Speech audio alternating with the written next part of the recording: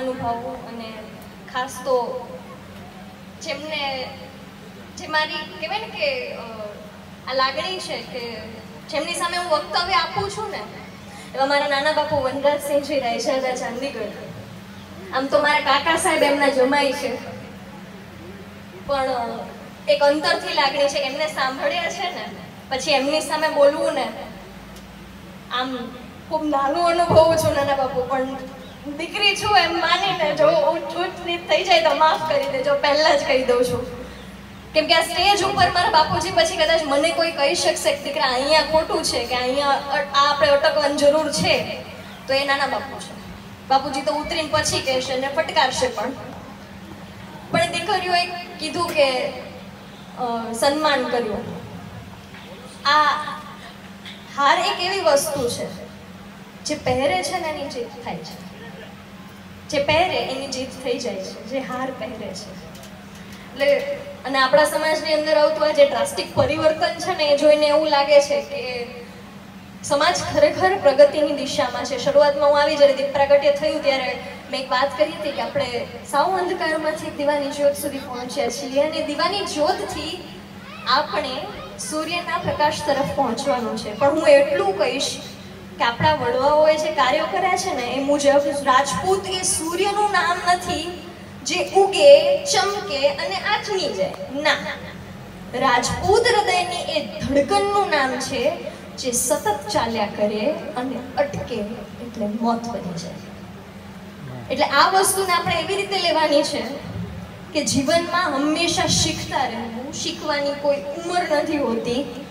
ઘણા બધા વ્યક્તિઓ એવા હોય છે કે ઉંમરનું સાહીઠનું સિત્તેરમું વર્ષ ચાલતું હોય, પણ છતાં એ વ્યક્તિને ખબર નથી હોતી કે મારે આવી રીતે બિહેવ કરવું જોઈએ. એ શીખવાનો અભાવ છે અને ઉંમરના આટલા વર્ષો વીત્યા સુધી આ એમના મોઢા ઉપર અનુભવ દેખાય છે.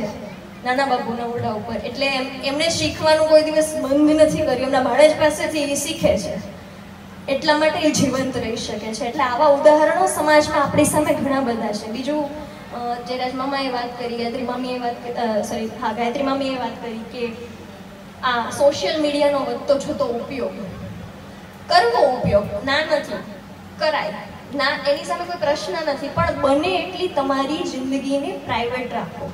દીકરીઓને ખાસ, દીકરાઓ પણ આ વસ્તુ કરે છે, સારા નથી લાગતા. દીકરીઓને સેફટી ખાતર કહીશ, દીકરાઓને આબરૂ ખાતર કહીશ. કે તમે આ વસ્તુ કરો છો કદાચ એનો દીકરો ગમે એવો રૂડો રૂપાળો હોય, પણ એક્ટર બને તો ન સારો લાગે. અને આપણા વડીલો, આપણા વડવાઓ જે અહીંયા બેઠા છે ને, અત્યાર સુધી જેટલા વક્તાઓ બોલીને ગયા છે, બધાએ એક સપનું જોયું છે કે રાજપૂતનો દીકરો કે દીકરી ફક્ત સરકારી વહીવટી તંત્રની અંદર નહીં, કે ખાખીમાં નહીં. આપણે કહીએ છીએ ને આઈપીએસથી માંડીને કંડક્ટર સુધીની બધી ખાખી રાજપૂત સમાજમાં જોવા મળે છે. અને અત્ર તત્ર સર્વત્ર જોવા મળે છે. ફક્ત એ જ ફિલ્ડ નહીં પણ બિઝનેસમેન છે. કોઈ સારા એવા સાયન્સની ફિલ્ડની અંદર સાયન્ટિસ્ટો બનીએ. કોઈ સારા એવા વક્તા બનીએ જેમ હમણાં શરૂઆતમાં જ પહેલાં ઇંગ્લિશમાં બહુ સારી સ્પીચ હતી. એક સમયે મને કોકે ચેલેન્જ કર્યું હતું તમે ઇંગ્લિશમાં બોલો મેં એક વખત સ્પીચ આપીશ પછી જિંદગીમાં આંગ્લ ભાષાનો મેં સ્પર્શ નથી કર્યો.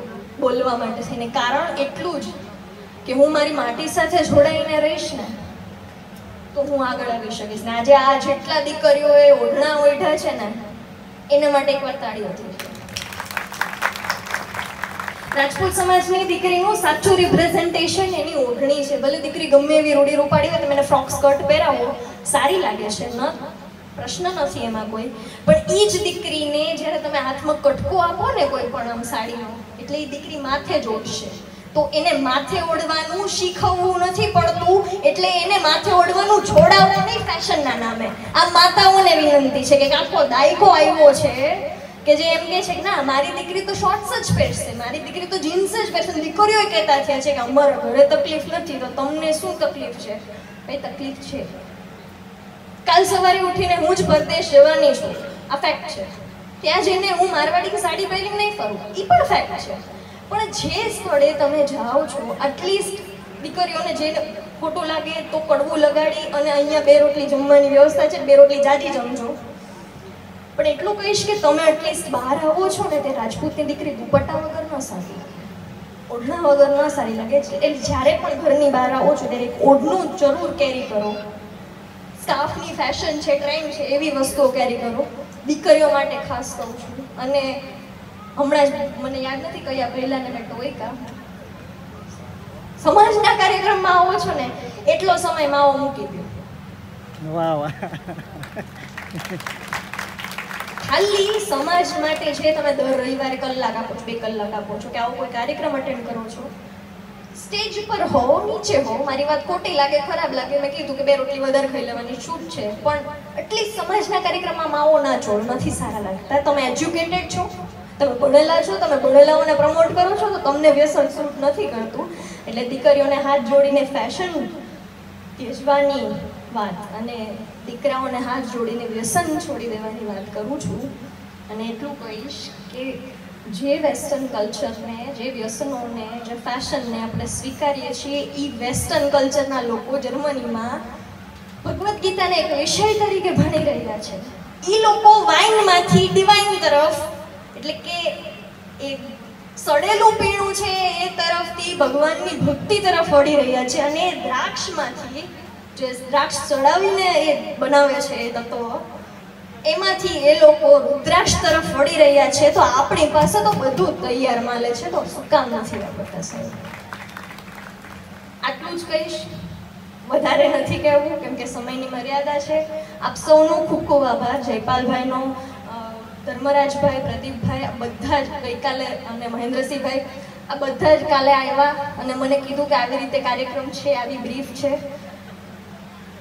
બહુ ખેદ અને દુઃખ સાથે કહેવું પડે છે કે આ મારા માટે અમુક સંજોગો વસાતા પહેલો ને છેલ્લો કાર્યક્રમ છે. પણ આવા ને આવા આયોજનો સમાજની અંદર થતા રહે એવી આશા, એવી લાગણી સહ આપ સૌની માફી પણ માંગવા માંગીશ કે કદાચ કંઈ બોલવામાં ભૂલચૂક થઈ હોય, કંઈ ઊંચું નીચું થઈ ગયું હોય, જેપાલભાઈ આપને કંઈ એવું લાગ્યું હોય માઠું, તો માફ કરજો, હું નાની બેન છું. અને તમે બધા જે મહેનત કરી રહ્યા છો એ હું અહીંયાથી તો જોઈ જ રહી છું, પણ પરદેશ જઈને પણ જોઈશ.